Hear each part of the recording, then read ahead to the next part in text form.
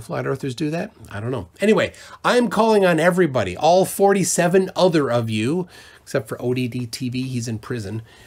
All 47 other of you to step up and say, yeah, I will participate. Oh yeah, I will participate. G'day everybody, where's Wally here? Hey, I see McToon is all keen to play with the Flatties in December.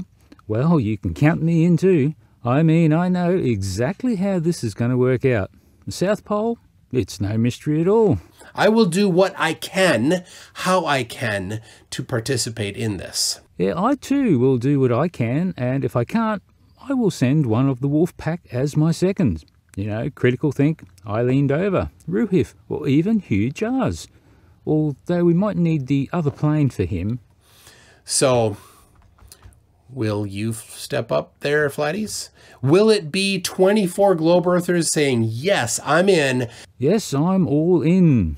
And 24 Flat Earthers saying, uh-uh, I'm scared to test my own beliefs.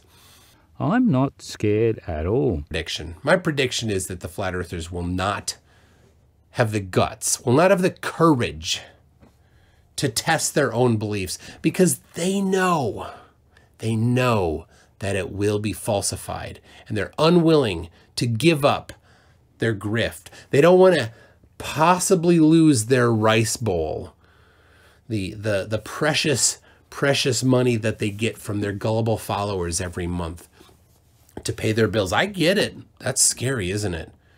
Scary for a flat earther who would look and see, well, if I stop believing in the flat earth, there goes my income. Yeah, I get it scared for you. Well, I'm stepping up right now. I'm doing it. So anyway, who's in? I'm in with you, Michael. Let's do it.